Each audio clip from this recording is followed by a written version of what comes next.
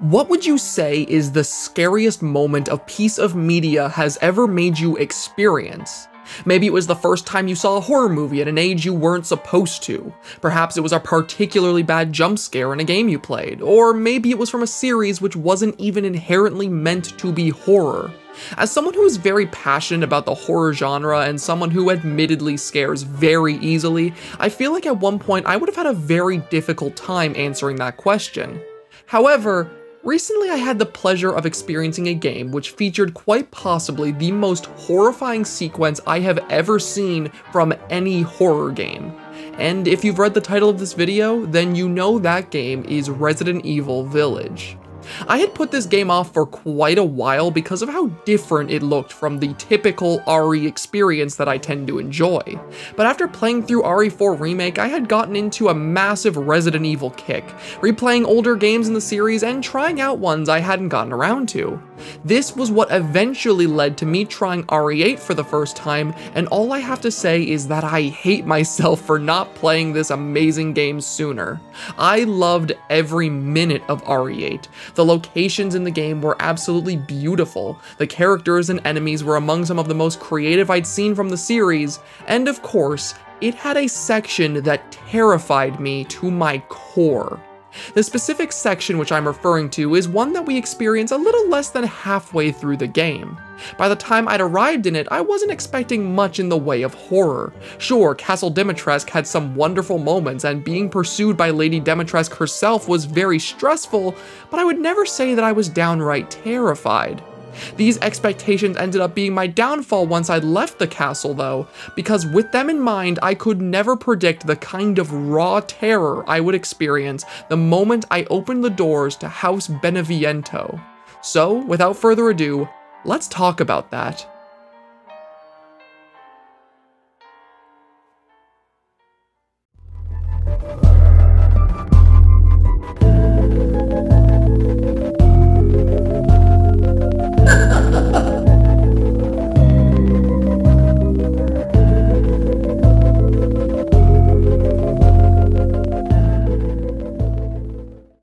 The House Beneviento section begins as we open the gates and make our way through an ominous forest filled with dolls hanging from ropes, an imagery immediately alluding to the location's heavy themes of childbirth and parenthood.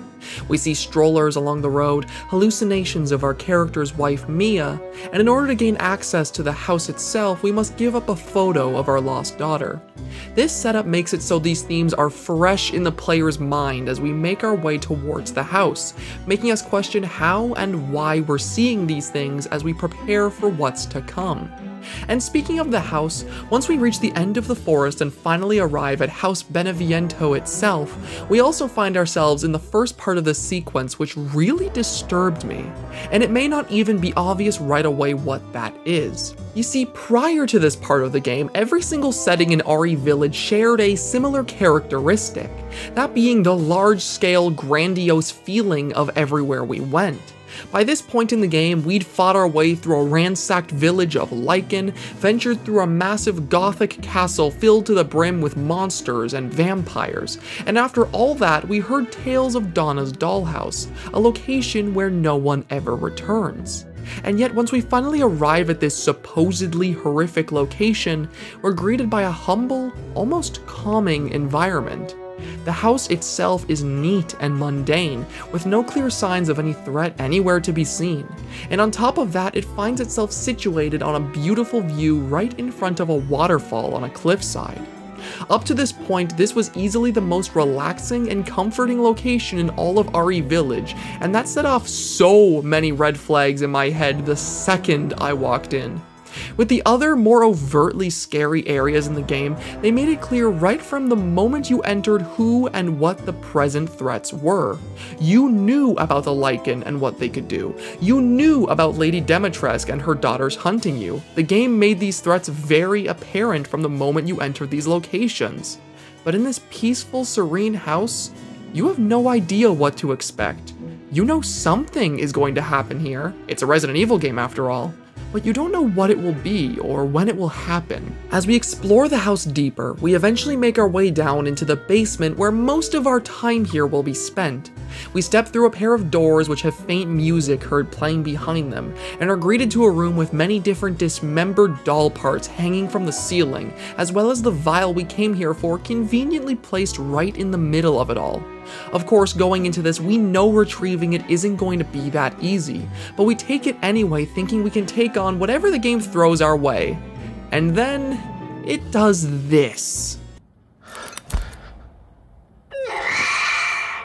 I've been waiting for so long. I'd make a much better daughter than Rose. Please, won't you stay with me forever? What? Wait, where's my gun?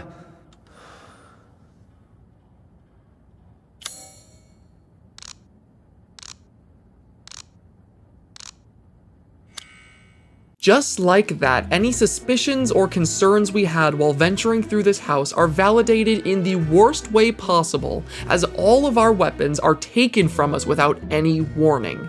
This right here, this single event, was something that allowed for House Beneviento to pull off a kind of horror unseen from this game up to this point.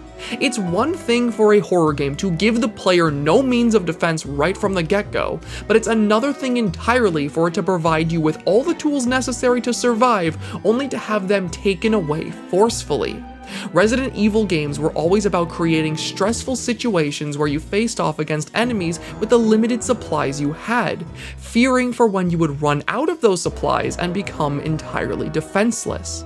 This single event essentially forces that worst case scenario on the player, now making it so that any threat that may appear while we're here is infinitely more threatening than they ever would be if we had the means to fight them.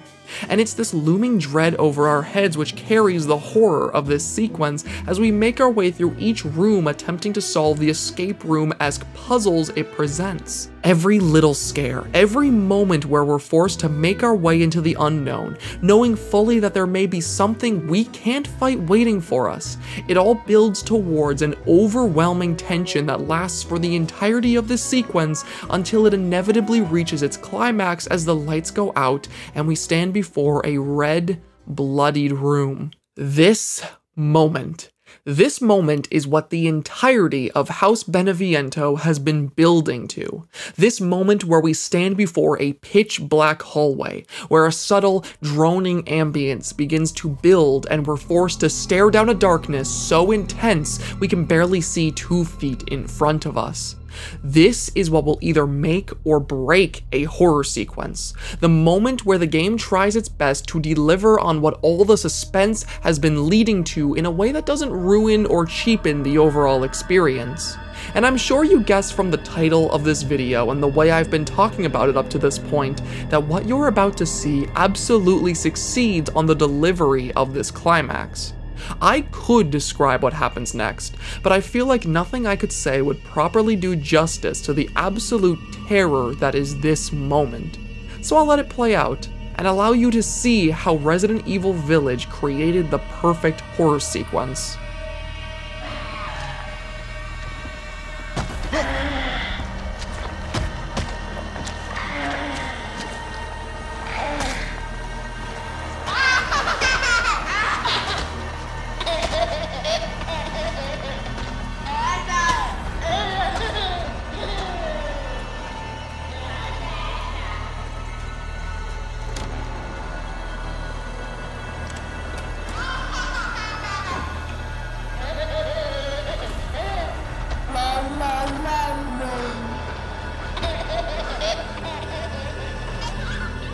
Do I even need to describe to you why this is the most frightening moment I have ever experienced playing a game?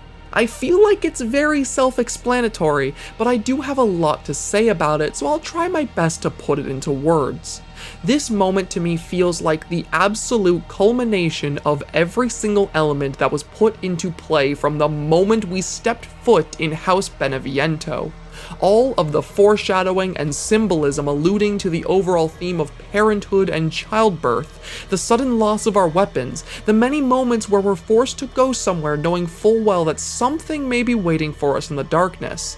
It all comes together in this one perfect sequence where all that buildup and tension is paid off in the most gruesome and horrific fashion possible. This giant fetus is the scariest monster I have ever had the displeasure of looking at. Its warped, vaguely humanoid appearance mixed with its sheer size and gaping maw make it so viscerally wrong to look at. It feels like it shouldn't exist, and yet here it is taking up the entirety of the hallway when we have no means of defense, forcing us to find somewhere, anywhere we can to escape it. And it's not just the overtly grotesque appearance of the baby which makes this particular part of the game so terrifying to play. There are many other smaller details at play here which build upon it to make it all the more dreadful. There are two main ones I'd like to key in on, those being the soundtrack and our character himself. The music which accompanies this moment perfectly complements everything it's trying to do. It's this loud, droning cacophony of noise created by several instruments which sound as though they're trying desperately to mimic the sound of human cries as the baby slowly crawls its way towards you.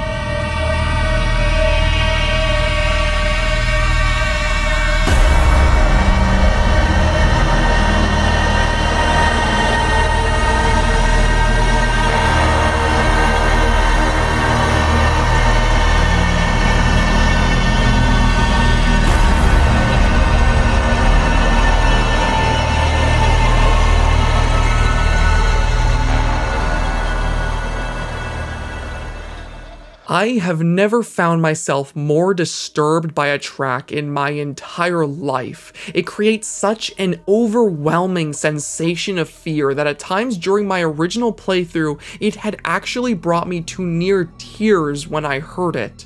The second detail I'd like to focus on, and the one I find the most fascinating, is how our character, Ethan, reacts every single time this monster appears. You see, Ethan's character, despite being one who constantly finds himself in horrifying situations, is one who very rarely expresses fear towards what faces him. In almost every other situation we see him in throughout the entirety of RE8, usually he has something to say about it, whether it be some kind of quip or expression of irritation. He faces down monsters that are far greater than him and actively defies those who attempt to talk down to him. It's part of what makes me love him so much as a character. But when we see him in the dollhouse, when he stares down the monster at the end of the hall, this is how he reacts.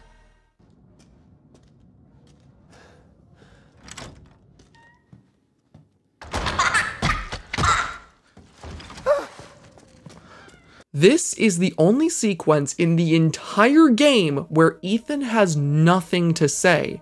All we ever hear from him when this monster appears is the faint sound of him gasping for air and faintly screaming in fear. And to me, there is something so genuinely scary about that. The fact that this moment is the only one where we see our character, just like us, is really, truly terrified. No quips, no banter, nothing. Just silence. And of course, putting atmosphere and design aside, the actual gameplay of this sequence does a wonderful job at setting everything seen here in motion. As well as allowing for proper tension to be built leading up to the chase, the moments where we're left to explore the house without any present threat make it so that we're able to familiarize ourselves with our environment without even realizing it will be integral later. We can find multiple places throughout the house which act as hiding spots later without even knowing that's their purpose until they come into play. And the time we spend exploring allows us to subconsciously learn our own escape route by the time the actual monster appears to chase us. These moments allow for the wonderful building of suspense while also giving the player a proper, fair chance to escape once the sequence reaches its climax, making for something that is terrifying without becoming annoying. These hiding spots also get the opposite effect later on once we know the baby is now roaming the house somewhere looking for us, with each new hiding spot we find reminding us that it could appear at any given moment to give chase, even when it seems like we've lost it. Perhaps the greatest example of how the gameplay comes into play to add to this sequence's horror is seen at the very end of it as we place the fuse in the elevator to escape.